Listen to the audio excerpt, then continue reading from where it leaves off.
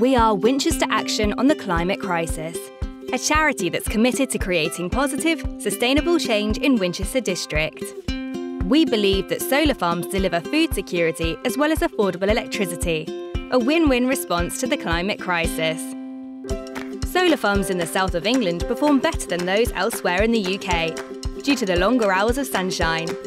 This effectively upgrades land quality and represents a business opportunity for farmers to consider there can be no food security if farmers can't afford to farm.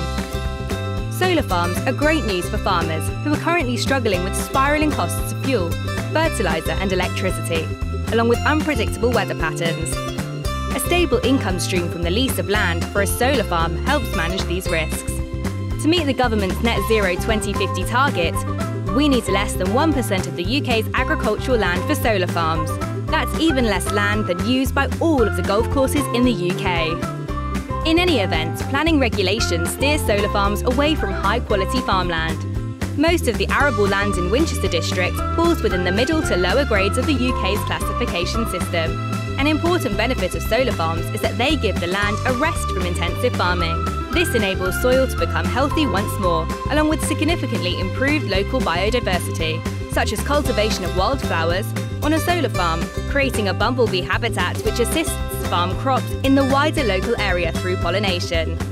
The recent energy crisis has helped us to understand that local electricity generation is urgently needed to reduce our dependence on unreliable overseas sources.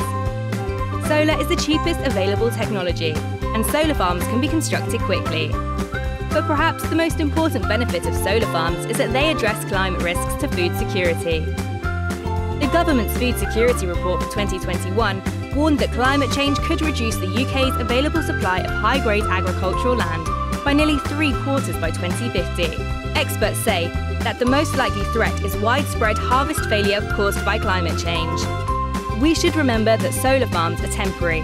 Climate change is irreversible. We hope you can now understand why we're so passionate about solar farms in tackling multiple risks to climate food, energy and biodiversity.